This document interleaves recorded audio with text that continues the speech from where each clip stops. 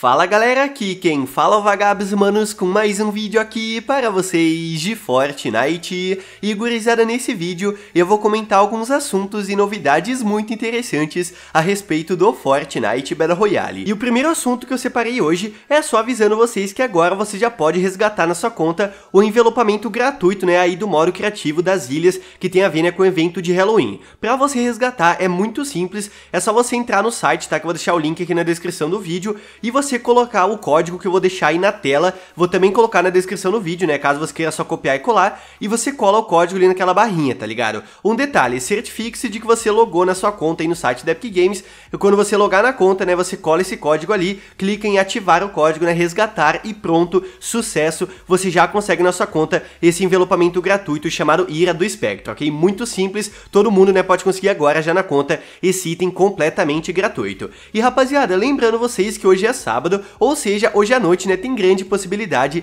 de novos itens serem lançados na loja. Então estou mostrando na tela para vocês todos os itens que já foram vazados, mas até o momento não foram lançados né, no jogo, quem sabe hoje à noite alguns deles vão aparecer na loja. E se você quiser comprar qualquer item me apoiando, eu ia ficar muito feliz com certeza se você colocasse o meu nick BKS Vagabs na opção apoio um criador da loja, mas é claro, né, só se você quiser, você pode apoiar né, quem você quiser, manos. E olhem só, outro assunto que eu quero comentar com vocês hoje, uma parada muito importante, é sobre a Marvel em relação aí à história do Fortnite. Tipo assim, ontem o dono de Mostardão, né, que é um membro bem importante da Epic Games, ele participou de um podcast, né, falando sobre a Marvel. E nesse podcast ele revelou coisas muito interessantes tanto do passado como também do futuro aí do Fortnite Battle Royale. Então agora eu vou resumir as principais informações que ele revelou aí pra gente. Olhem só, de acordo com o Licker China, ele confirmou, né, nesse podcast que a temporada da Marvel, né, essa temporada é apenas o início de uma grande colaboração do Fortnite com a Marvel,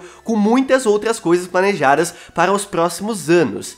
Ou seja, aparentemente essa temporada é apenas o início aí da parceria da Epic Games com a Marvel, o que para mim é uma tremenda loucura, sendo que essa temporada já teve muitos personagens da Marvel lançados no jogo, a história né, tem a ver com Galactus, com o Thor, com o Homem de Ferro, então pelo jeito nos próximos anos vão ter muitas outras coisas também relacionadas com a Marvel dentro do Fortnite. E olhem só, outra coisa que ele falou é que o Galactus, ele estava sendo planejado pela Epic Games desde a primeira temporada desse capítulo 2, exatamente Exatamente. De acordo com ele, logo depois do evento do ponto zero, né, e do buraco negro, que foi aí no lançamento desse capítulo, a Epic Games já estava pensando em colocar o Galactus na história do jogo. Isso foi há mais de um ano atrás. Isso mostra pra gente que a Epic Games pensa muito antes aí das coisas serem de fato lançadas dentro do jogo. E outra parada importante relacionada com a Marvel é que de acordo também, né, com o dono de Mostardão, no futuro, né, vai, digamos que, se intrometer na história do jogo o personagem da Marvel chamado Modok. Eu acho que é assim que se fala. Que é esse vilão, né, todo estranho com uma cabeça gigante, perninhas e bracinhos, tá ligado?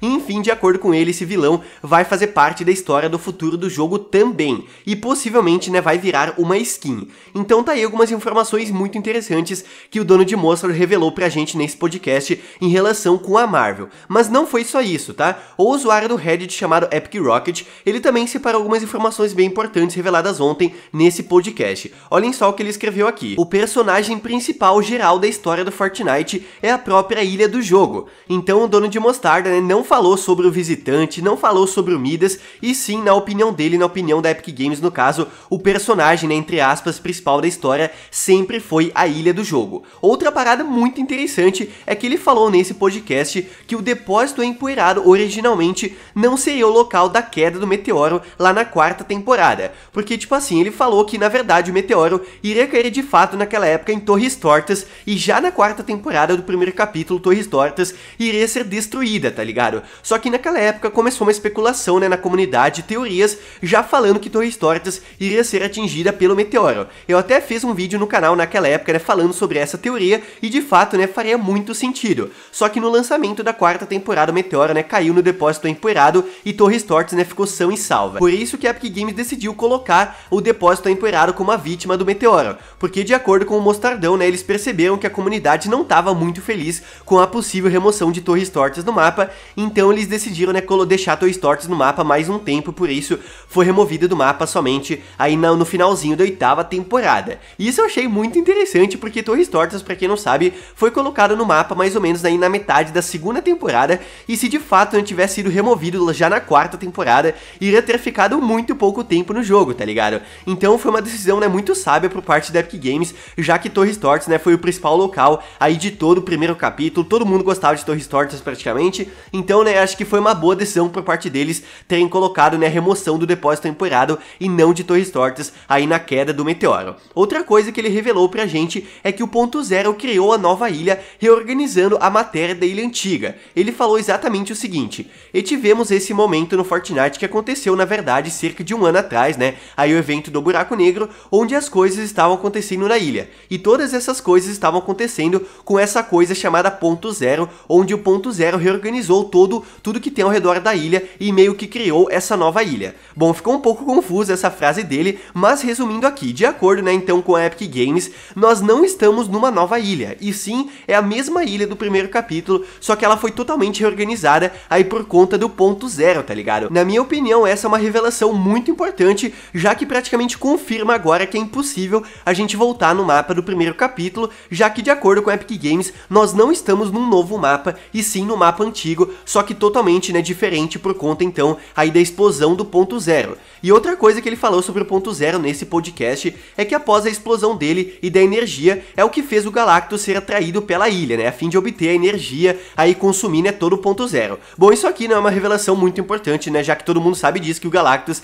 tá chegando no mapa, né, por conta do ponto zero. E outra parada interessante, né, com relação a Marvel, agora saindo aqui do assunto da história do jogo e do ponto zero, é que ele confirmou, né, que no futuro mais skins da Marvel vão ser lançadas. Como eu falei antes para vocês, o modo que vai chegar na história do jogo, né, possivelmente vai ser uma nova skin, só que outra coisa que ele falou, né, durante esse podcast, ele deu uma dica de uma skin da Marvel que vai ser lançada, falando a seguinte frase: Viver com medo é uma coisa ruim. Então ele falou essa frase dando referência a algum personagem da Marvel. Muita gente tá falando que é o Venom, tá ligado? Outras pessoas falando que é o Homem-Aranha. Então tá aí, né, um mistério, um outro personagem vai ser lançado e tem referência, né, a essa frase aqui: Viver com medo é uma coisa ruim. Então deixe embaixo nos comentários qual personagem, né, você acha que o dono de Mostradão quis dizer que vai ser lançado que tem relação com essa frase. Então essas foram as principais informações reveladas aí pelo Mostardão, né, durante esse podcast ontem, aí falando sobre a Marvel, Fortnite e tudo mais. Deixe embaixo nos comentários o que você achou dessas informações. Eu sinceramente achei algumas paradas bem importantes aqui para compartilhar com vocês.